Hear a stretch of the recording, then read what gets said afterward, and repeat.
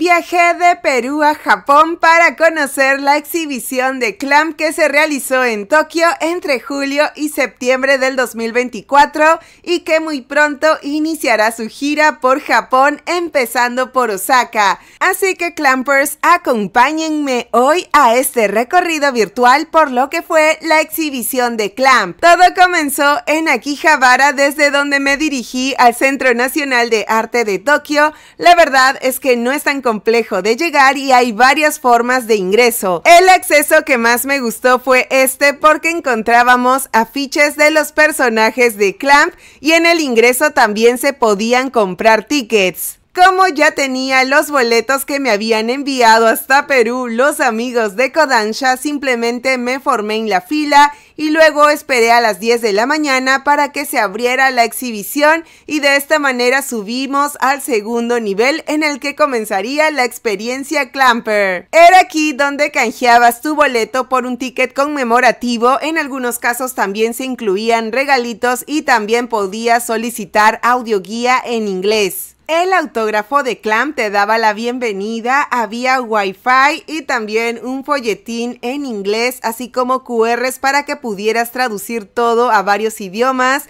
La primera parte de la exhibición llamada Color o Color estaba dedicada a la presentación de las obras de Clamp desde RG Veda hasta la actualidad y es así donde podíamos explorar varias de las obras a full color. Estas también tuvieron un cambio o modificación en la segunda etapa, pero no se podían tomar fotografías, así que esto es referencial. La segunda sala era dedicada a love o amor y esta vez teníamos un montón de escenas que nos recordaban las diversas formas de amar en los mangas de Clamp. Y es que esto no únicamente se restringe al amor romántico, sino también a cómo es que en general se puede demostrar que uno realmente quiere a otra persona. Si bien las páginas estaban en japonés, probablemente muchos recordábamos lo que decían los personajes, como en el caso de Tomoyo o por ejemplo las escenas dedicadas a Holic. El tercer espacio llamado Adventure o Aventura nos presenta mucha más acción en las escenas de los mangas de Clamp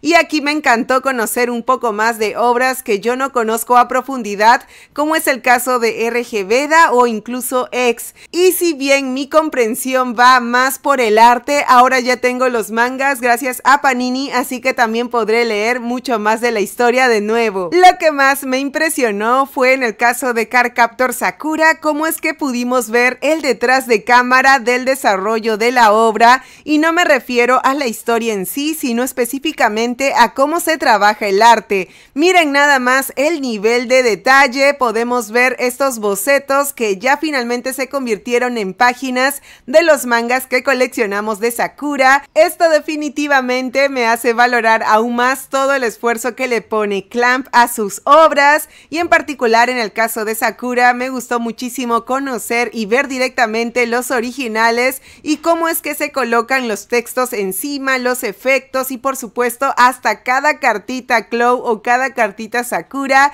encima para que todo quede perfecto. En la cuarta sección dedicada a Magic o Magia podíamos ver algunos videos animados, pero basados todos en ilustraciones del manga. Me encantaron, por supuesto, las que estaban relacionadas con Holic, Subasa, Magic Knight Rayard y también Sakura. Con la P de phrase o frase terminamos la palabra clamp, que es esta forma de cómo se organizó la exhibición. Y es aquí donde tenemos también un espacio interactivo porque los fanáticos podíamos sacar un sticker con una frase y luego colocarlo en la pared. Cuando fui en agosto ya estaba la pared casi completamente llena, así que lo único que se me ocurrió fue guardarme la frase en el bolsillo y tenerla como un recuerdo recuerdo hermoso para siempre. Pero no es todo amigos porque en la sección siguiente Imagination o imaginación podíamos ver toda la cronología de los 35 o más años de Clamp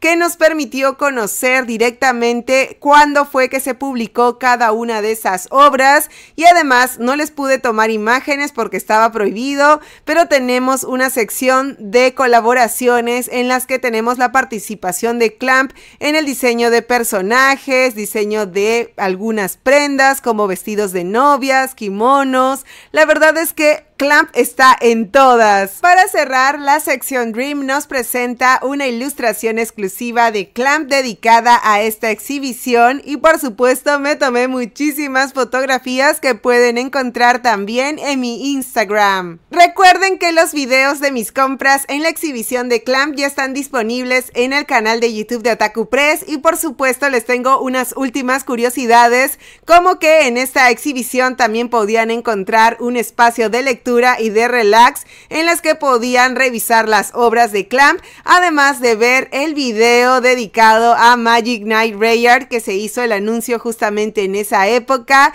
y luego de eso tenemos también una cafetería temática, ya les subí el video de toda mi experiencia en este espacio y por supuesto lo último es que en la biblioteca del Centro Nacional de Arte de Tokio también podían encontrar obras de Clamp. Espero que les haya gustado este video. Recuerden que tengo más sobre Clamp en YouTube y por supuesto más shorts de mi viaje a Japón.